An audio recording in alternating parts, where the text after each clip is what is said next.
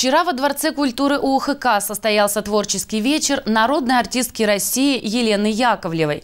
Массовому зрителю Елена Алексеевна известна по сыгранным ролям в фильмах «Интердевочка», «Анкор», «Еще Анкор», сериале «Каменская» и других картинах. Театралы знают Елену Яковлеву как актрису театра «Современник». На встречу с любимой многими россиянами артисткой была приглашена и наша съемочная группа, рассказывает Алексей Лежнин.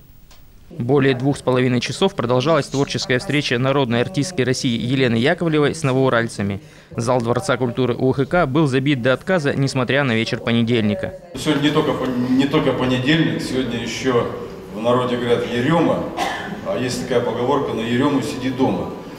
Вот мы как-то э, обе стороны нарушили, что и вы сегодня пришли в зал, и мы пришли в зал. И Лена приехала к нам в гости – по этой такой суровой дороге, Тагильский тракт, который строил Борис Николаевич Ельцин. В этот вечер было много шуток и веселых историй. Хотя перед выходом на сцену Яковлева была сосредоточена и серьезна, как будто она должна была сыграть серьезную, полную трагизма роль. Но сцена преобразила не только актрису, но и зрителей. Для новоуральцев Яковлева с первых минут стала своей – близким и хорошо знакомым земляком, родом из закрытого города. По вашему городу, в который я сегодня приехала, слава богу, еще было светло, и я могла увидеть, я вспомнила практически всю свою жизнь, начиная с детства. Мое видимое представление о жизни начинало примерно в таком же закрытом городе, как у вас. А, город назывался Нижнеудинск в Иркутской области. Э, окруженный э, солянами, э, речка Уда, единственная фабрика это Слюдовая была, у вас, наверное, немножко другая.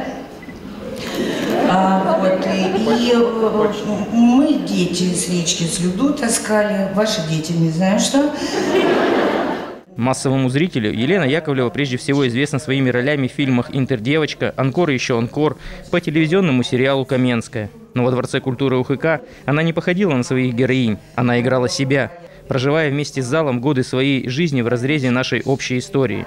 Сам творческий вечер и был выстроен на основе монолога актрисы, в котором она провела горожан по этапам своей интересной и яркой судьбы при этом держа зал в плену своих эмоций и переживаний, делясь сокровенным, рассказывая о взлетах и комических ситуациях. Например, таких, как при поступлении в театральное училище, когда она читала известную басню и неудачно воспользовалась реквизитом, сломанным стулом. Здесь вот примерно на этих э, словах этот э, вот, ну, ну, он не был закреплен основательно, то ли клей рассох, то ли еще чего. Мне как-то нога так подвернулась, ноги полетели две вверх, а это место как раз вот в то место, где вот это вот то, на чем сидит, то есть ну, я вот этим местом провалилась до пола.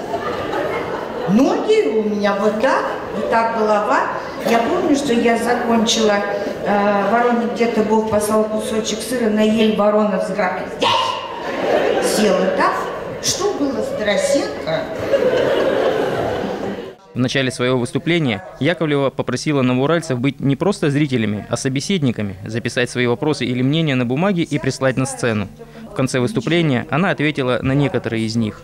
Чем вы любите заниматься в свободное творчество, работы, время, ваше хобби? Если это весна, лето, осень, это, конечно, участок, это цветы, это, э, ну и собаки. У нас их уже четыре штуки и мы не хотим остановиться на достигнутом. Э, мы, наверное, проводим э, эксперименты не только в своей жизни, но и, может быть, потом, в дальнейшем, это для науки э, будет очень интересно, как четыре кабеля разного возраста, разного характера, разной породы между собой живут. А, я так думаю, когда мы закончим этот научный эксперимент, ну, может быть, там их будет 7 или 8 или 10 собак, э, может быть, тогда я смогу а, а, что-то такое вот сказать важное людям,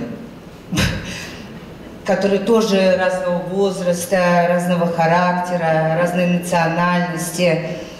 Почему собаки могут ужиться? И почему мы нет? Всю глубину своего человеческого звезда еще раз раскрыла позже, уже вне сцены. когда после двухчасового общения со зрителями, без перерыва и ни разу не присев, согласилась еще несколько минут уделить нашей съемочной группе. Два часа вы сами себя завели, зал завели. Я сама, а я, да, я сама себя завожу. Да нет, ну что вы, э, жизнь, она для чего э, существует, чтобы потом, э, чтобы что-то накапливать. Как, как, же, как же сказать, мы все живем, пропускаем мимо себя очень много. Очень много. Мы не наблюдательны, мы не внимательны. Мы мало стали общаться с людьми. Э, мы мало стали э, вникать э, в то, что происходит у соседей, еще чего-то, еще чего-то, еще. А из этого состоит жизнь, понимаете? Мы сами замкнулись с помощью телевизора, компьютера, мобильного телефона и тому подобное. Всем кажется, что это хорошо, а на самом деле общение уходит, мы перестаем общаться друг с другом. И поэтому, когда у меня есть возможность, э, я не самозавожусь, как вы сказали, а, а пытаюсь э, э, как-то пробудить в себе то, то, что было раньше, это безумное общение, благодаря чему как бы мы и выживали. Это, во-первых. А во-вторых, вообще мы должны подпитывать друг друга энергией, своими какими-то отношениями, своими историями. Из Новоуральска известная актриса уезжала поздно вечером. На следующий день в Екатеринбурге ее ожидало еще одно выступление. А в наш город она обещала вернуться через год, на 60-летие Дворца культуры ОХК, в котором ноябрьский холодный вечер понедельника ее так тепло встречали уже близкие ей люди. Алексей Лежнин, Дмитрий Дедюхин, Новоуральская вещательная компания.